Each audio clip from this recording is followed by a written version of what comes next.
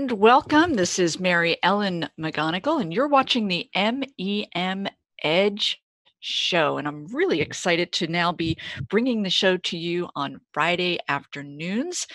And the goal of this show is to really help you prepare for next week. And there was a lot that went on this week. We are going to review that as well as take a peek into some of the areas that you are going to be on the lookout for next week. So let's get started. Take a look at our agenda today. First of all, we are going to do, as I mentioned, a real drill down view of the current markets where we are there's a lot going on it's very unlike certainly unlike august and other periods that we've had this year a lot of very interesting dynamics going on beneath the surface. So we're going to go ahead and get into that, talk about how you can capitalize on that.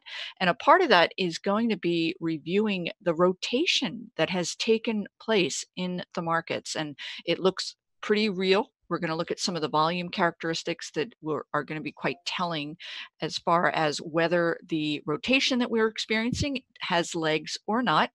And then again, I talked about events. There are a couple of significant events that are going to be taking place next week. You are going to want to be aware of them before you put your hard earned money to work.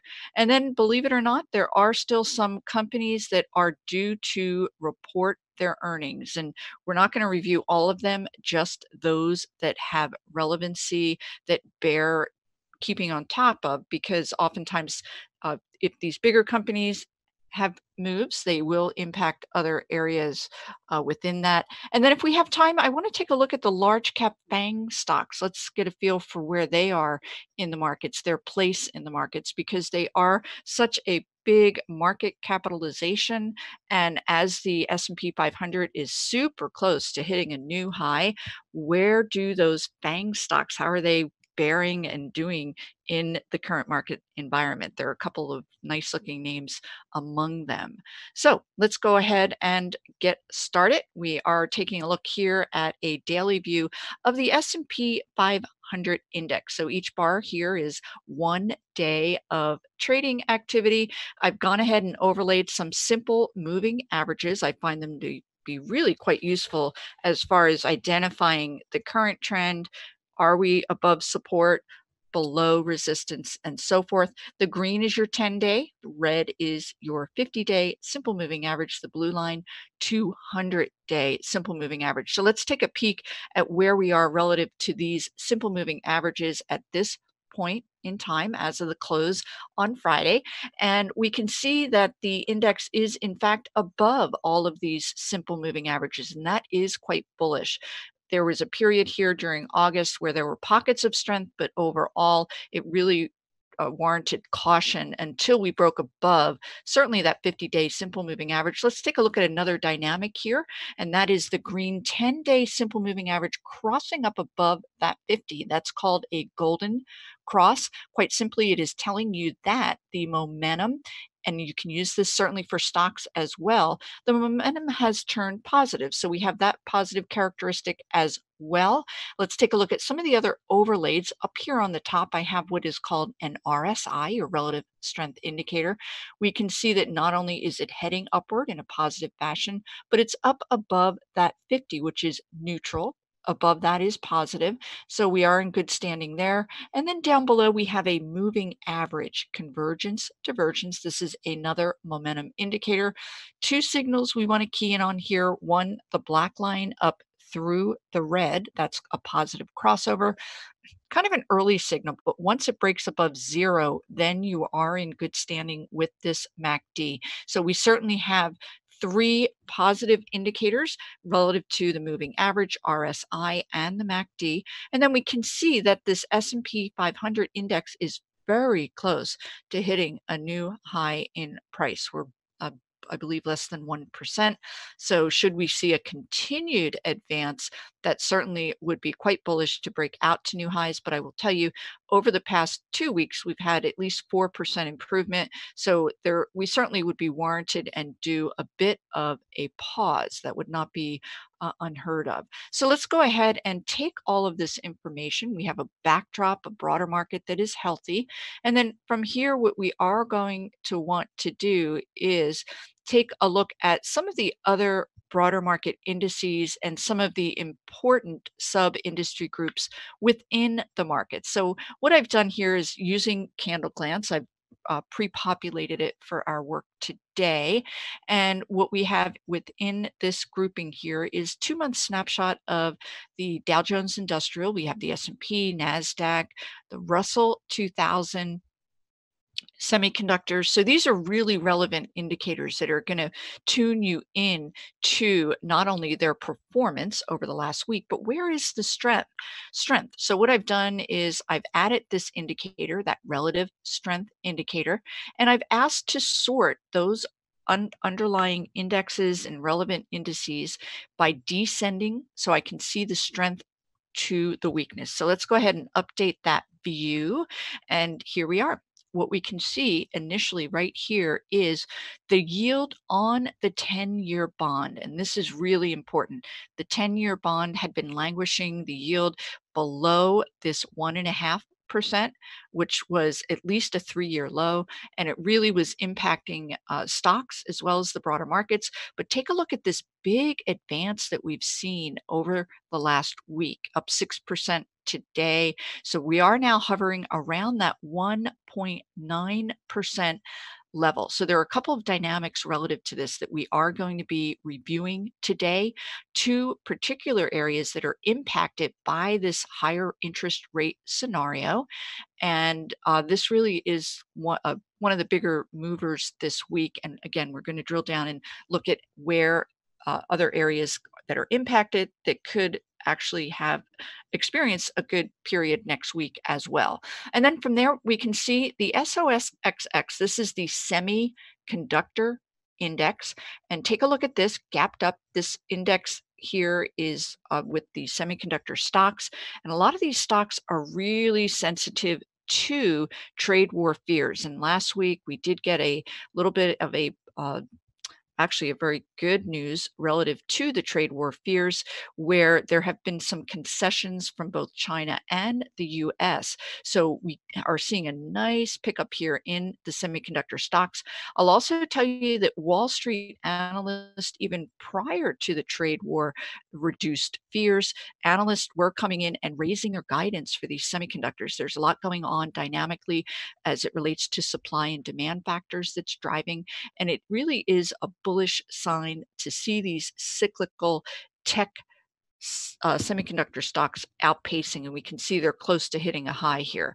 Uh, from there, take a look here. This is the Dow Jones Transportation Index. So it is, again, we're doing strength to weakness and going over this last week period. We can see this over the last two weeks, a really nice pickup here in these transports. And I'll tell you, it's being led by a number of trucking and other transportation stocks. This is another bullish sign because it's telling us that purchased goods need to be transported. And I will tell you some of the other economic indicators that came out this week also support that. Retail sales, super strong numbers today, up 4% for August.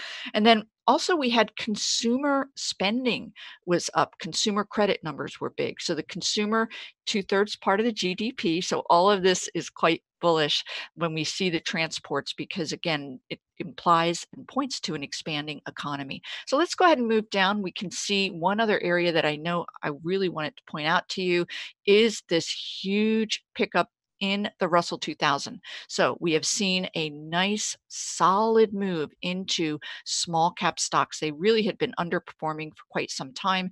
This is another bullish sign because a move into small cap stocks is another signal that confidence is there that we are in a period of an expanding economy.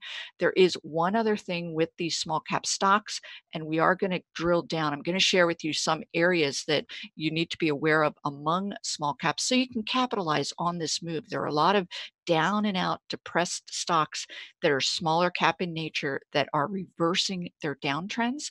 So we're going to dig in there and I'll show you how you can uncover those. So let's just simply move on. NASDAQ struggling a bit because outside of semiconductors, technology is faltering.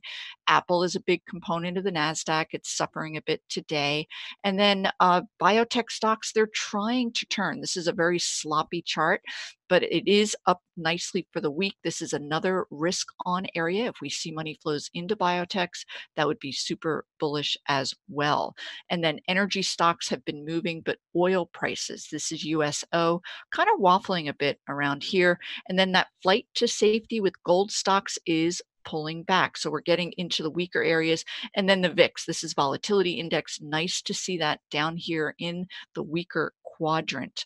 So that is a snapshot view. And this is something you can do on your own, whether it's on a daily or at the end of the week. But you really do want to get a handle on this on a regular basis, of course, watching uh, MEM Edge Show is one wonderful way. And I will tell you, among these sectors and groups, there are going to be pockets of strength that you may or may not be aware of. And I do have a bi weekly ME Edge, MEM Edge report. It is a wonderful research report that really gets behind the scenes and it tells you where those pockets of strength why are they there and here are the stocks that can benefit so at the end of this there will be a link uh, below the recorded version of this, but you can just go to my website, meminvestmentresearch.com. There is an ability for you to trial that newsletter, and I urge you to take advantage because there is a special offer for that. So let's go ahead. There is another view that I did want to share with you. So we just took a look there. Let's just take a very clean, clear view of the S&P 500 sectors. And this is that same candle glance view. Each snapshot here is two months of trading activity, strength to weakness. So here we are, industrial stocks up here in the forefront. And for those of you that may do this on a regular basis, you will see industrials had been languishing, but take a look at this pickup. A lot of that is the move into transportation, but also the move into cyclical stocks. This is part of that rotation that I mentioned to you, has everything to do with certainly the trade war, reduced fears. A lot of those global cyclical names were languishing. They're picking up again. This is a big move that we are going to be getting into, and that is financials. The financial sector had a very big week this week, and everything there has to do with that first view that we were looking at interest rates, how they were languishing the 10 year below one and a half, now up at the 1.7. These bank stocks do well in a higher interest rate environment. A lot of their uh, profit margins are derived from the yield spread between longer and shorter term interest rates. So higher rates it's going to imply a, a, better scenario for these financials. Materials, this is another cyclical area, again, all relating to those reduced trade war fears. But let's take a look at energy, XLE. This is an area that has been down and out for the entire year. It is trying to reverse this downtrend. If we have time, we can get into some of the candidates there. I would argue it's a little too early, but certainly that is where, for those of you that like to look out for turnaround candidates, you can see energy could very well be beginning to reverse that downtrend. Let's take a look at consumer discretionary stocks. These are going to be your retailers, those stocks and names that are consumer related. I talked about retail sales being up, consumer credit. This is another area of strength that you could potentially fish in, if you will, uh, for potential candidates. And then communication services. A lot of uh, the 5G type stocks are starting to pick up here in strength. Uh, and then as we drill down, we can see some of these more defensive areas are languishing. They're back down here in the lower quadrant, showing a bit of relative weakness. Consumer staples, healthcare, REIT stocks are really getting hit quite hard, and then utilities as well. Technology here is really solidly in that middle to lower area. I talked about it, and it has everything to do with one particular area among technologies that is struggling, and that is the software stocks. But let's see, and I want to show you how you can uncover the information that I am sharing with you. I certainly I run screens daily, regularly, thousands of charts. So I do come to you quite informed, but I want to give you some shortcuts so you can potentially uncover some of this same information. This is stockcharts.com sector summary that you can access from that initial page interface. And quite simply, today it's showing you the performance. What I want to do is go ahead and show you the one week performance, and it will confirm a lot of what we've been seeing today. Take a look, financials up almost 4%, very significant. Energy sector, that's an area that is trying to turn. And then we get into these other cyclicals, materials, industrials, and so forth. But what I did want to point out to you within technology, how can you see? Because again, with uh, pointing out to you my MEM Edge uh, research report, we'll get into this kind of dynamic where on the surface, technology does not look very healthy, but let's go ahead and take a quick peek because take a look at this. There are areas that are up five, four, two and a half percent for the week. Had you been just keying in on that sector performance, you may not have been interested in potentially drilling down even further. And then, of course, from here, what you can do is go ahead and click onto that industry grouping, and it will take you to the uh, certainly on the weekly the performance and from my work i like to take a look at that stock charts technical rating that scooter i want to see those names up here in the forefront and potentially key in on those names that are already experiencing strength and then uh, subsequently could continue to experience some upward moves. So that's an easy snapshot way. And then certainly within financials, we want to see where the stronger areas, where are the areas benefiting the most from this pickup in interest rates.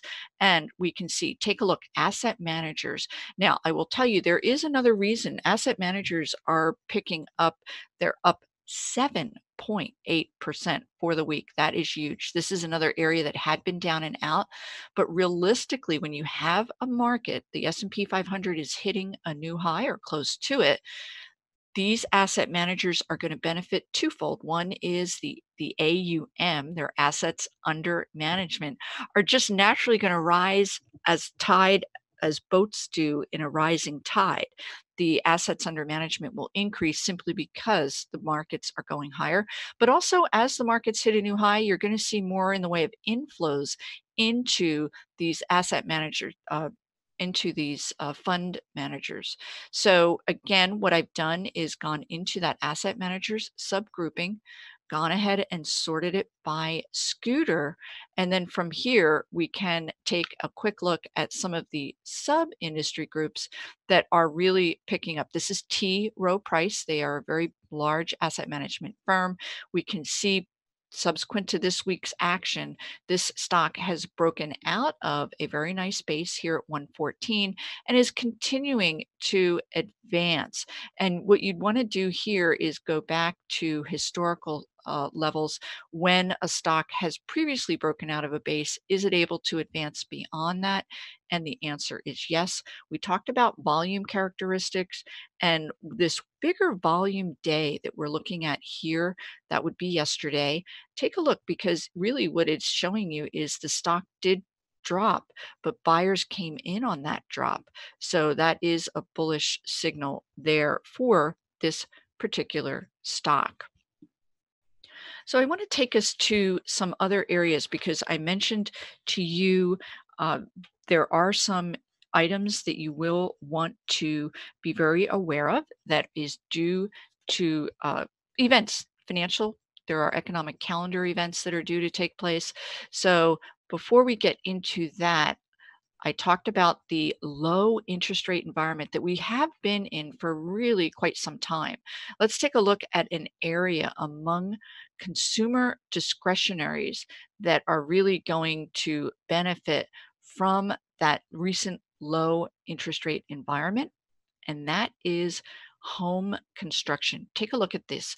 These guys are really just on a tear We can see Hovnanian, some of these smaller names, but this is their one week performances. And it does have everything to do with that low interest rate environment. Now that interest rates are going higher, we could eventually see a slowdown in this. But for now, there is a definite move into these home building stocks. But I wanted to share with you that next week we have two different numbers. We have August housing numbers, and then also the housing, I'm sorry, August housing starts. So that's going to be your new home construction, and then existing home sales. That is going to be reported next week. So we could see an impact among these stocks. But I wanted to share with you a couple of names among these home builders that despite having significant moves, they still look quite constructive. This is MTH. I will tell you this gap up here is management coming out and pre announcing a backlog in their home sales. So they had sales in, on homes that had not yet even been constructed.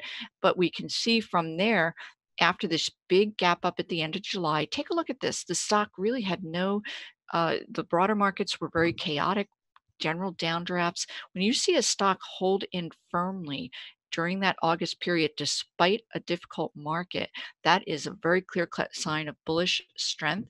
And then this week, we can see that MTH here is quietly hitting new highs. Take a look at those volume characteristics. This is the biggest volume, certainly over the last couple of weeks. So, this is telling you institutions want in, it's finding support at an upward trending 10 day simple moving average.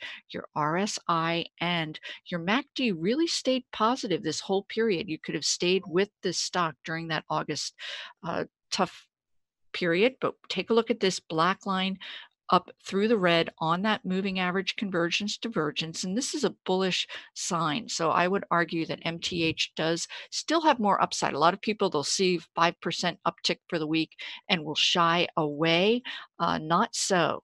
So that would be certainly one stock that I would point you to. Now you can hover over that symbol and get a snapshot view. And from my work, I'm not going to be as interested in those big uh, stocks that are already have had big moves. We can take a quick look at HOV. I will say 20% is a pretty significant move on a one week basis, but this stock has been in take a look at the severe downtrend that HOV has been in and the characteristics that you are seeing this week very clearly are uh, just kind of a textbook uh, turn downtrend reversal that is occurring here. And I'm going to pay attention to it for two reasons, even though it's had a 20% move.